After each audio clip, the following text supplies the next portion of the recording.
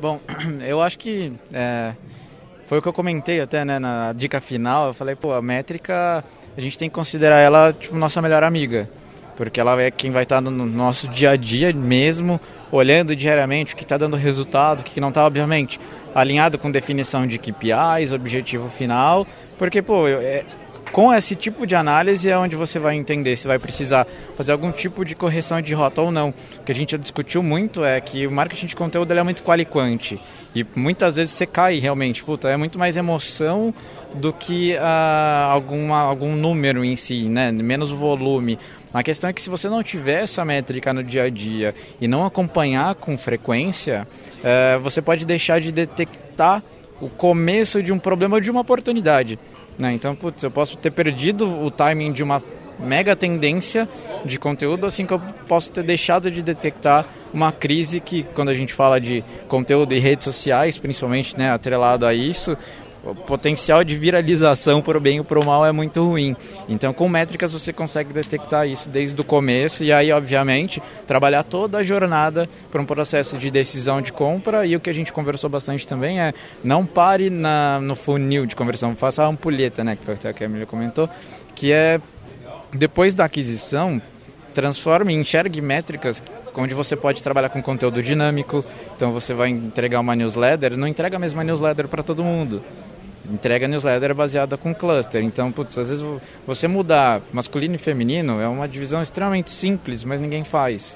Imagina dividir isso com potencial de interesse. Pô, você sabe qual é o tipo de produto que esse cara comprou, o serviço que ele consome, dependendo do caso. Usa isso a seu favor. Então, é o tipo de métrica que vai ajudar no, cada vez a alavancar ainda mais o sucesso da estratégia de marketing de conteúdo. Então, a primeira dica que eu dou é uh, tenha uma chave única. Né? A primeira informação, é, seja o CPF, um e-mail, um ID único, que é um número randômico que vai se vincular. Tipo, o marco vai ser o marco por conta desse número, assim. Porque com ela você vai conseguir enxergar o marco por, ao longo de toda a jornada. Enxergar todos os seus clientes ao longo de toda a jornada e, obviamente, é, entender diferentes estratégias e trabalhar com grupos estratégicos com isso. Além do, do da chave única.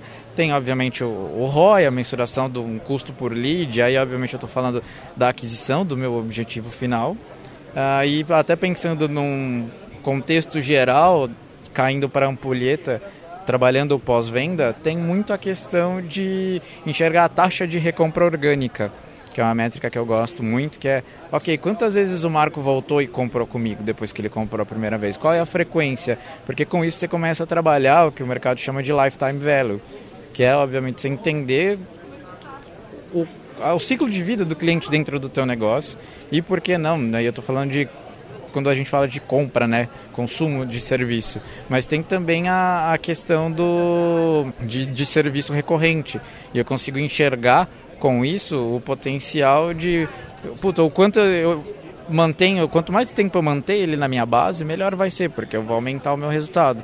Né? Chega ao ponto de a gente detectar clientes que têm propensão de cancelar o, o serviço, por exemplo, e aí eu trabalho marketing de conteúdo específico para ele pensando nisso. É o que a gente chama de upsell e cross-sell. Né, usando a, os termos que a gente utiliza no dia a dia. O upsell é quando você detecta que ele tem potencial para consumir um serviço recorrente que tem um ticket médio maior. E aí você vai oferecer, trabalhar o marketing de conteúdo para fazer com que ele enxergue a necessidade disso, né? Então você gera a necessidade para ele.